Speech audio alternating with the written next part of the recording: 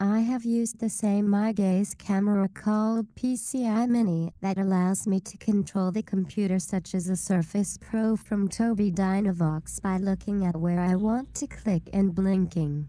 I absolutely love how easy and quick it is to click a button with only a blink of an eye. However, the company decided to discontinue the blink feature. Now, you must use what they call dwell, where you must have your eyes stare at a button to click. I absolutely hate this feature. In addition to having to dwell on a button, you also must stare at a menu when you are on your desktop that has all your clicking options such as left and right click. Then, you must dwell on each clicking option in order to do that command. As well as discontinuing the blink feature, you can only make straight lines when you are dragging the mouse. When I am painting on my computer, I need the capability of making curves. My college major is digital media, which involves graphic design.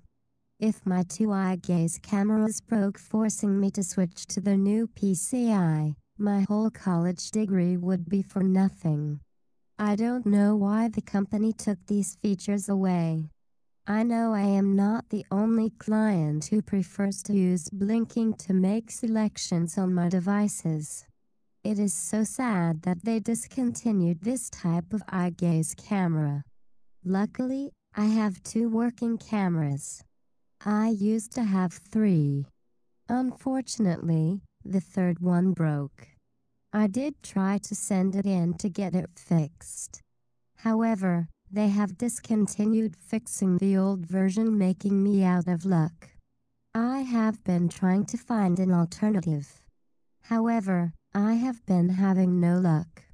I am constantly on eBay trying to hunt down another PC Eye Mini. If you have any ideas for me, please let me know in the comments below. I hope this post will open Tobii Dynavox's eye and at least fix my eye gaze.